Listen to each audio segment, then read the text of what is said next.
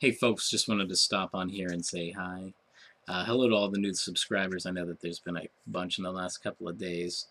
Uh, just thank you and uh, hope you're enjoying watching some of my older videos. I know it's been about a month since I've posted a video, but uh, you know, as as I get more time, um, you know, certainly I have a ton of stuff to go through here.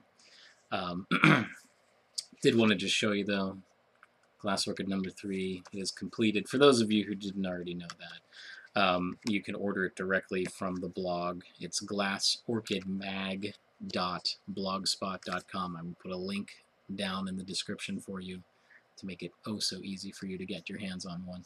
Make sure that you give me your address so I know where to send it to. If you've ordered before, you do have a little bit of a Rolodex going of uh, uh, you know addresses and what have you. So I may know what it is if you have ordered it already. So Glass Orchid number three, we kind of focus on Clockwork Orange on this one. Just had some great art. This is by Glowing Double O Cabbage. Did this little piece here. Uh, my friend Jordan did this, and he also did the centerfold. Just fantastic. Um, but uh, Albie Trop goes through. He, he does kind of a review on Clockwork Orange. Um, there's also uh, a review of Wendy Carlos, who you know Walter Carlos, Wendy Carlos did the uh, the soundtrack to A Clockwork Orange, most of the soundtrack. Um, so we go through and we do review, um, you know, kind of the Switched on Bach album as well as uh, you know some of the other albums that uh, Wendy did, the Sonic Seasons, Seasons, Seasonings. I'm sorry, and uh, you know the Wendy Carlos's A Clockwork Orange, which was what her vision of the uh, soundtrack was. And for all you psychedelic fans, we did go through and there's uh, re reviewed the band Sun Forest, which they uh, contributed two songs to the soundtrack. Uh, we also have sort of a personal reflection on the film. And uh, we have also uh, a Clockwork record dig, which is when Alex went to the Chelsea drugstore. Sort of all the records that were in and behind him and uh, kind of discussed what what can be seen in the film.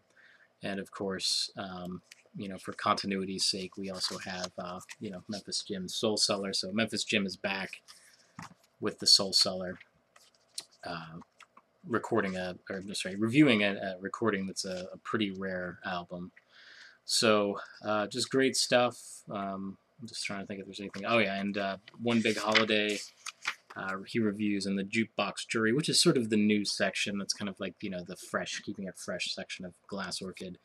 Uh, it's not not all old stuff. There's some new stuff, but uh, he reviews Acid Mother's Temple, Son of a Bitch's Brew. You can see it right there in all of its glory.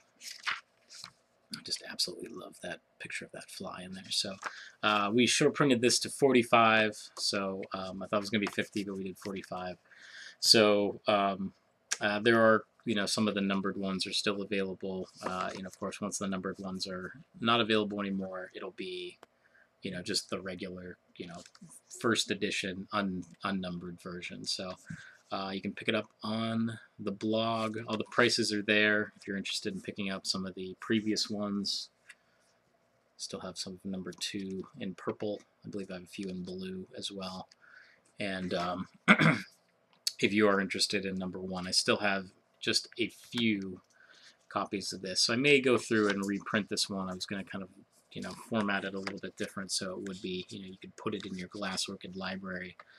Um, I've come a long way since this one now that I know about, you know, no bleed edges and things like that. So the, the wonderful world of uh, printing and, and stuff. So good stuff. So uh, let me know if you want one and I will put it in the mail for you. So we'll see you.